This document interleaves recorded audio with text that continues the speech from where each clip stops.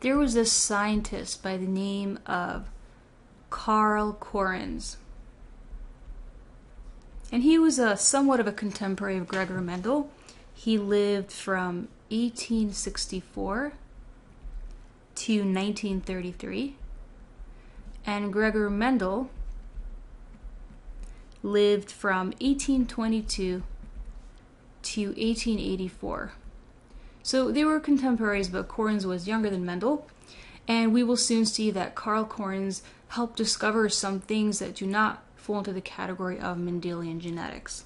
So Carl Correns did a lot of experiments with this plant called the four o'clock plant. That's how we know it. Uh, which is what you're looking at. I know it looks a little bit like a tree, but it's supposed to be a plant. And actually, the scientific name for the four o'clock plant is Mirabilis jalapa.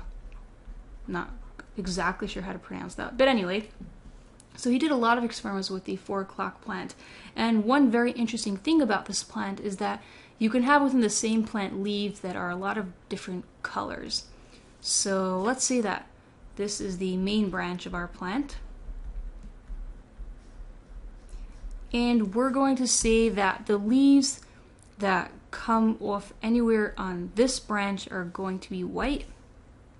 So there are our white leaves and we're going to say that any leaves that come off of this branch are going to be green.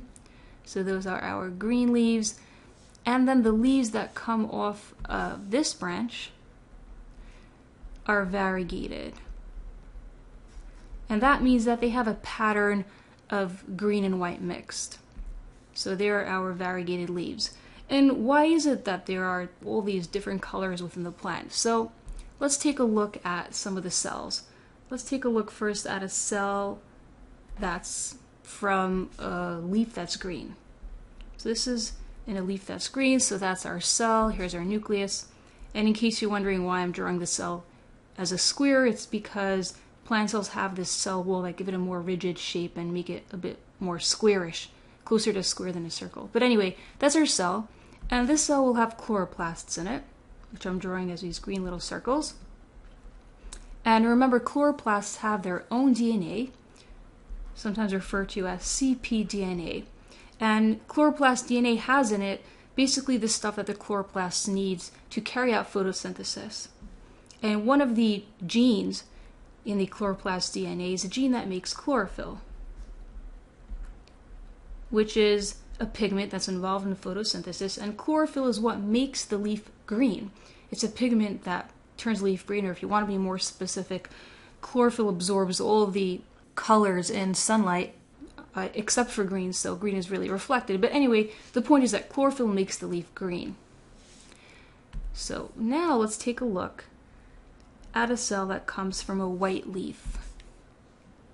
So this cell comes from a white leaf. So again, we'll draw our nucleus. And then it has chloroplasts. But the chloroplasts in this cell, the DNA in those chloroplasts have a mutation. So the cpDNA has a mutation that does not allow it to produce chlorophyll or allows it to produce only a very, very tiny amount of chlorophyll because it needs chlorophyll to survive, but it's not enough that the leaf will be green. So I'm just going to write very, very tiny amount of chlorophyll or and that's why it appears white. And then the variegated leaves, well, they have some cells that have regular chloroplasts that make chlorophyll, and then they have some cells with the mutated chloroplasts or chloroplasts with mutated DNA that do not make chlorophyll, or rather make a very small amount. And then they actually have a third type of cell, which maybe you're guessing it already, have both types of chloroplasts. They have chloroplasts that do make chlorophyll, and then they have chloroplasts that have mutated DNA and do not make much chlorophyll.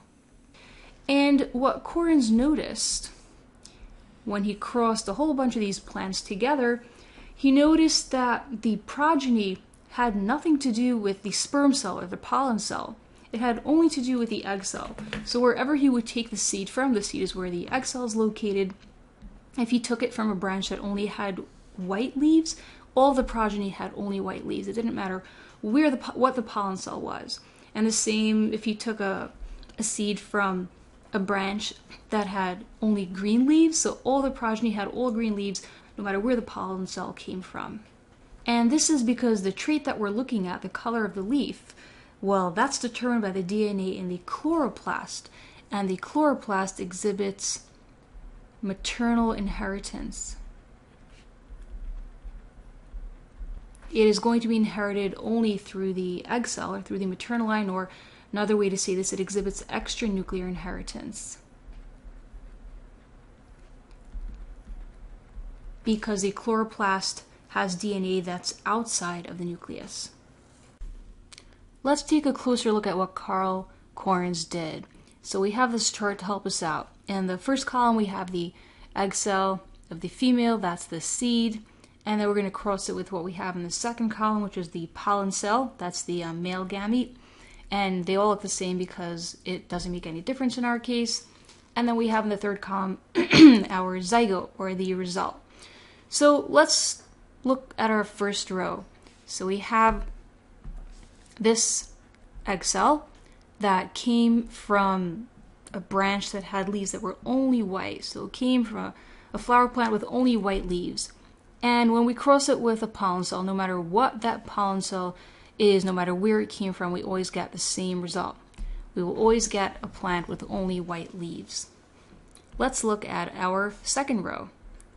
So we have this cell that came from a branch that had only green leaves, and again, no matter what we cross it with, no matter where the, where the pollen cell came from, a white leaf, a variegated leaf, a green leaf, or a flower of a green leaf, so we always get the same result.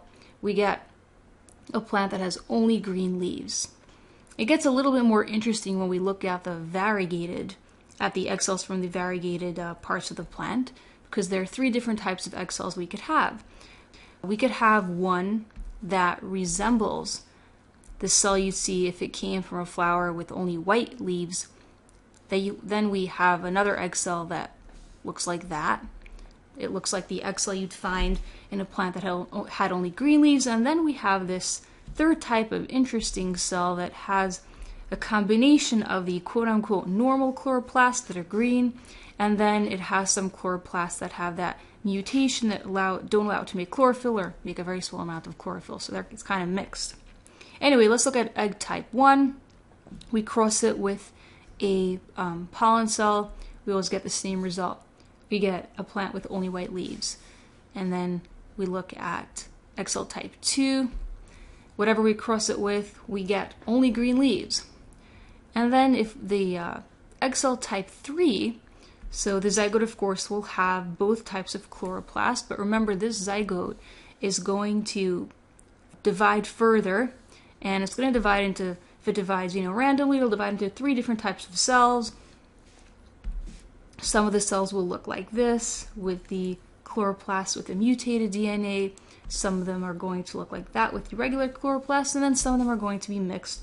And this will give you a variegated plant. Some of the leaves are going to have that mixed pattern. You might have some leaves that are white you might have some leaves that are green. And so the bottom line take home message is as I explained before because the particular trait we're looking at, leaf color, because the gene for that trait is in the chloroplast, it exhibits maternal inheritance.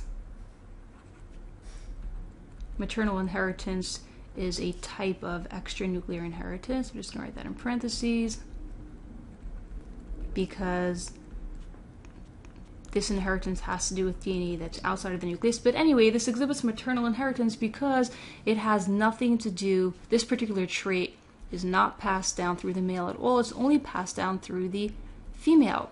And that is, as we explained before, because the chloroplasts are coming only from the egg cell. The sperm cell does not contribute any chloroplast to the zygote. It only contributes DNA that's in the nucleus.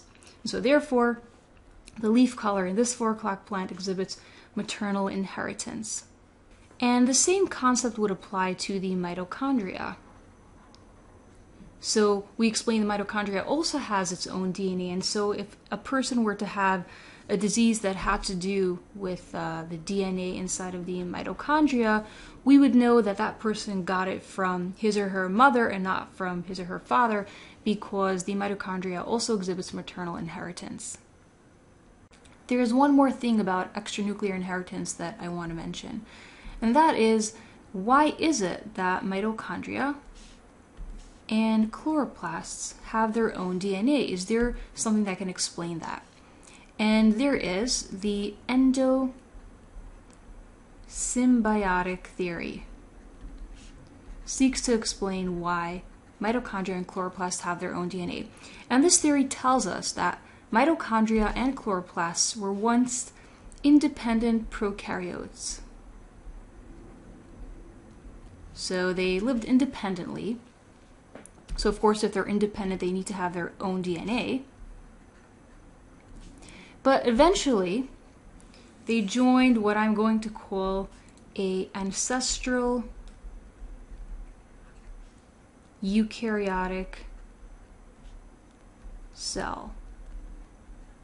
And in case you're wondering, like when this happened, we'll say about one and a half billion years ago. So what happened is what happened is that the mitochondria and chloroplasts joined an ancestral eukaryotic cell, and I'm going to call it ancestral because it's not exactly a eukaryotic cell that we'd see today, but it's a cell that would eventually become a eukaryotic cell. We could also call it a host cell because it's going to host mitochondria and chloroplasts. So let's put them inside. So now they're living in this host cell. And why do you think they would want to do this? So they're going to live together in symbiosis.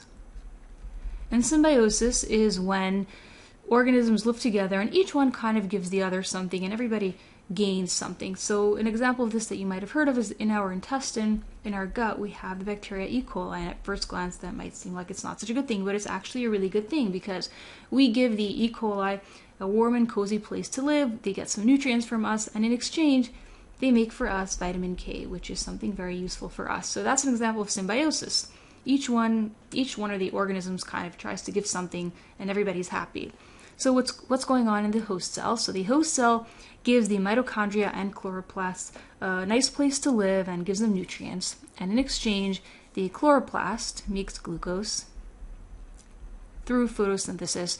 And then the mitochondria takes that glucose and produces ATP and then that ATP uh, is used as energy. The mitochondria uses some of the ATP, the chloroplast uses some of the ATP, and of course the host cell uses some of the ATP. So everybody's happy, everybody's getting something. And then eventually this cell, you know, evolved in many different ways, and of course it became the eukaryotic cell that we know of as today, but you know, not exactly in the way it was because chloroplasts are not found in all eukaryotic cells. It's basically found in plants as an algae, but that's the basic idea. So let's go back to, to the term endosymbiotic theory. So endo just means inside because the mitochondria and chloroplasts began to live inside a host cell. And symbiotic simply refers to symbiosis. I'm just going to draw an arrow down here, refers to symbiosis because each part, the mitochondria, chloroplast, and host cell, everybody's giving something. And so this would explain why mitochondria and chloroplasts have their own DNA because once upon a long time ago, they were independent prokaryotes and they lived on their own.